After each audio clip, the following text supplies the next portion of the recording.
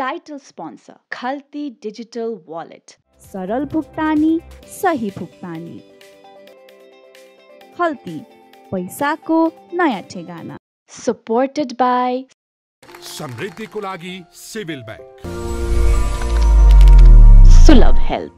नमस्कार सबैजनालाई नेपाल सरकारले दुई हजार बिसलाई नेपाल भ्रमण वर्षको रूपमा मनाउने उद्देश्य लिएको थियो। त्यसअनुसार विभिन्न प्रचार प्रसार पनि गरिरहेको थियो तर विश्वव्यापी रूपमा फैलिएको कोरोनाको महामारीले गर्दा त्यस कार्यलाई अल्प विराम लाग्न पुग्यो तर त्यसका लागि गृह कार्य भने भइरहेको अवस्था छ। यसै प्रसङ्गमा रोल्पालाई उद्योग पर्यटनको रूपमा विकास गर्न सकिन्छ अनि खान भाषाको उद्गम स्थलको रूपमा पनि लिन सकिन्छ। यसै प्रसङ्गमा मैले एउटा अनुष्टुप छन्दको कविता लिएर आएको छु। कविताको शीर्षक छ रोल्पा।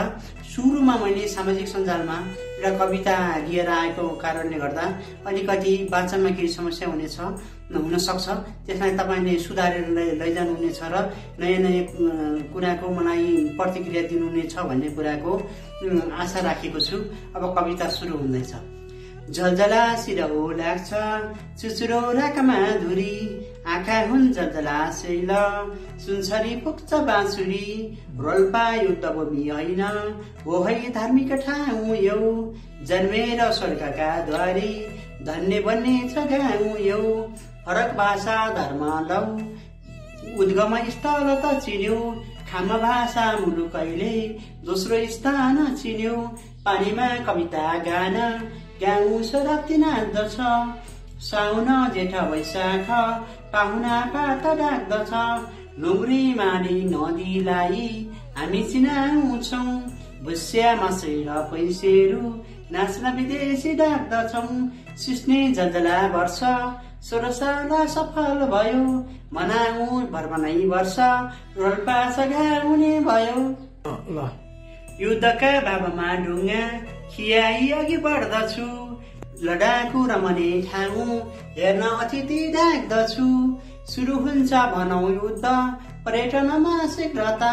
खोल्छु ट्रेक गुरिल्ला त गराउँछु पदयात्रा। गर्न विकास आर्थिक रेमिटेन्स भोट भयो। पैसा आउनु पर्नेमा सबको आउने भयो। सुधार्न समस्यालाई पर्यटन बढाउनु इको टुरिज्मबाट नै ढुकुटी त सुधारनु। निमुखाको मुखै खोल्न रोल्पा अब त जाग्नु छ।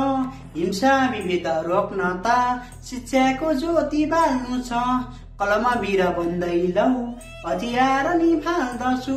हुन्छन् कुरीति अन्त्य त शिक्षाबाटै सुधार्दछु। युद्धका अब पीडामा मलम लगाउँछु। विवाद नगरा भन्दै निरूपण सघाउँछु विकासका विचारैले अघि त बढ्दछ युद्धले नि विकासै भौ। जापानको नि सिक्दछ।